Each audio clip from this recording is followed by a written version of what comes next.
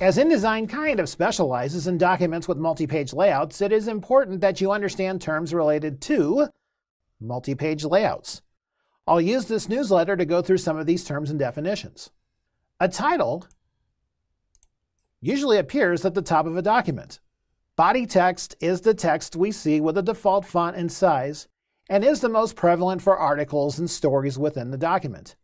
Headers and footers, as is the case in programs like Microsoft Word, appear above and below the main document. A block quote is an isolated quote for emphasis, like the one we see here, and it is usually in its own text frame. A caption is usually tied to an image or similar object and is used to describe the image or object. Those are some of the text terms. Some pieces of a document you may see include a table of contents, such as the one tucked in here on page 1, and or an index, which you often see as a reference point in the back of a longer document such as a book.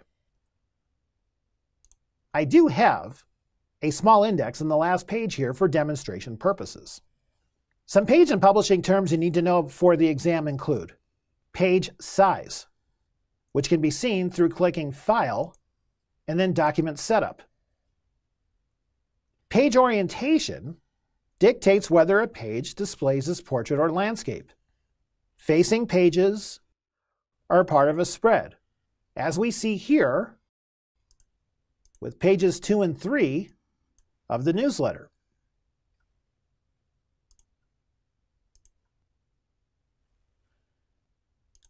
Bleed is the distance beyond the margins of a page and is used when you want to make sure a background prints on an entire page. Slug area is the area in which you can leave instructions for a commercial printer. Trim marks will show on the corners of a printed page. A gutter is the distance between the left edge and the left margin. This area is left alone so that a page can be bound, as in part of a book. Margins are the spaces around the edge of a page. A frame is an object that holds either another object, like an image, or text. Finally, InDesign documents often use master pages. Master pages serve as an overall background item for one or more pages within a document. This allows for items such as this footer, to be consistent throughout a publication.